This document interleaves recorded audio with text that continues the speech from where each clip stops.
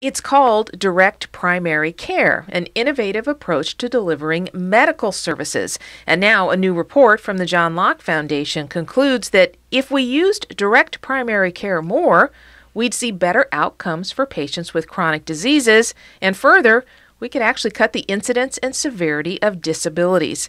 Katherine Restrepo is the author of this new policy report. She's the Director of Healthcare Policy for the Locke Foundation. Katherine, welcome back. Thank you. Before we talk about the details, and this is pretty exciting because you're Mm-hmm. talking about having a real impact on Yes. uh, on people's health. Uh, explain to us what DPC, as it's known, really Mm-hmm. is. How does it work? Yeah, direct primary care, DPC, as you say, it's it's like a healthcare gym membership. Just think of it that way. So, in exchange for a monthly fee, an average monthly fee is seventy five dollars for a patient.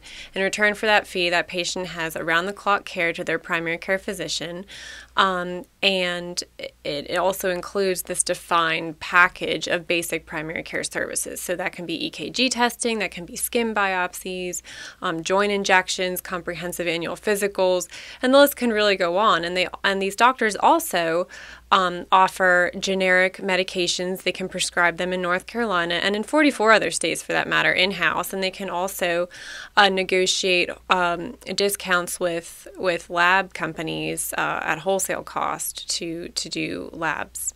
You could actually text your doctor or email your doctor Yep, and get a quick response. Email your doctor, and you know, don't get me wrong. There's a lot of primary care. Um, practices where you have patient portals and you can check in with your doctor through a patient portal and look at your electronic medical record. But the key difference here is that these doctors they're so price transparent and they're making health care much more affordable for low and middle income families who are struggling to pay for their health insurance premiums and that's simply because they do not accept insurance. They're completely removing primary care from insurance. And that whole concept can make health insurance so much more affordable for more people. Now, you've been digging into the data on this, and it's a fascinating report. It's available at johnlocke.org. You've been looking at what would happen if we not only increase the use of direct primary care, mm-hmm. but what's been happening from the providers who are already using it. And you say that if we used it more, we could actually help folks who have these chronic diseases. Explain that. Yes, and when you look at this model, people think, "Oh, this model it's it's similar to concierge medicine. These doctors charge a premium. People have to have disposable income to have this around the care access and be able to afford that." But or only healthy, you know, these doctors are only cherry picking healthy patients.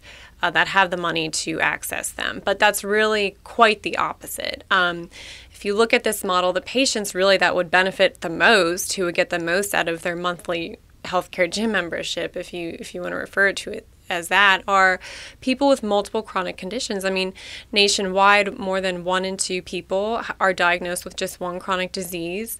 Um, more have, I mean, so many people have multiple uh, or known as comorbid patients. And when you can spend more time, I mean, time is the value here in the direct care model. When you can spend more time with your physician, that improves access to care and it can really reduce healthcare cost downstream the specialty care visits, the ho- unnecessary hospitalization visits, or unnecessary uh, referrals to specialists as well.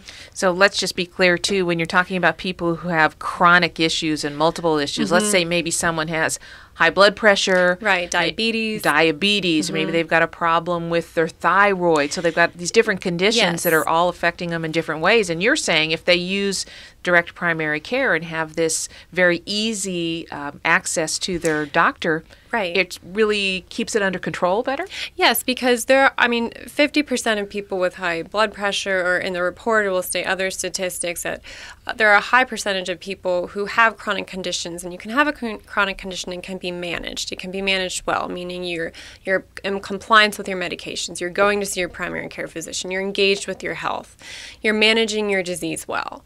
Um, but there are many people out there simply because of the access and time issues that many patients are facing the healthcare system, where they have these chronic condition, conditions and they're not being controlled. They're not controllable, and that's again because of lack of time. So more an investment at the primary care level, more time with their physician, can really rein in the spending on on patients with healthcare or with chronic conditions, and improve the patient's overall health. So, in the policy report, you kind of lay out the data uh, that you just mm-hmm. described, but you also then say that if we were able to do this, and the fact that um, this helps people and would help yes. more people manage um, chronic issues, it's going to lead to a lesser number of people who have disabilities. Mm-hmm. How is that? Well, because if you have chronic conditions and they go untreated or go unmanaged, that can lead to disabilities. For example, um, kids with asthma, I mean, that can lead to limited mobility, limited activity they can do. Um, I mean, people who are diabetic and their holistic care is not taken care of in a timely or an appropriate manner, that can lead to foot amputations or, or other problems, which leads to other disabilities. This sounds really exciting to me. It really yes. does because I happen to have a number of people in my family who are dealing with mm-hmm. multiple issues, and it's a problem. They're constantly trying to see different doctors, and the doctors are having to uh, talk about how the medications interact and all that. It, right. it can become a really yeah, exactly. And I mean, it can have such a greater impact for, I mean, because the report also spells out, and a lot of academic medical literature says that there's more of a stronger association with lower income people having um, you know, being diagnosed with chronic illnesses. And that again goes back to lack of access, adequate access to health care.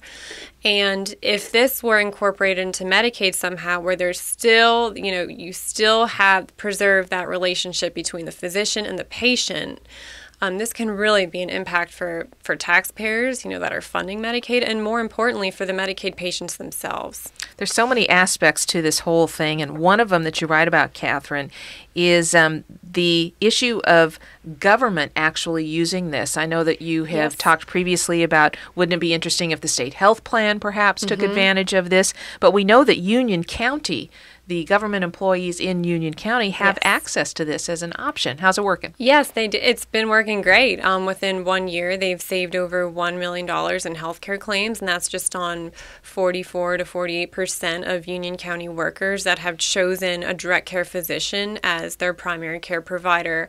And again, this these direct care physicians they don't accept insurance but the great thing about union county or from an employer standpoint is that when they offer direct care as a value added benefit option it still works alongside their traditional health insurance plan. So they can still have access to specialists in network that their health plan offers for specialty care or hospital care. So it's kind of the best of both worlds. Yeah, it's a true wrap, what people call a wraparound policy. So everything wraps around the insurance plan itself that's designed by Union County because they are a self-insured employer, meaning they're they're at risk for all the claims they incur by their their workers. Um, you know they they're able to restructure their healthcare benefits where it wraps around primary care benefits and it just includes specialty and, and and things for catastrophic or Last, unforeseen medical events. Lastly, Katherine, how prevalent is this in terms of the number of doctors who are going this route, just mm-hmm. saying no to insurance? I'm going to deal with my yeah, patients. Well, you know, it's it's growing for sure. I mean, still very niche market. I mean, only about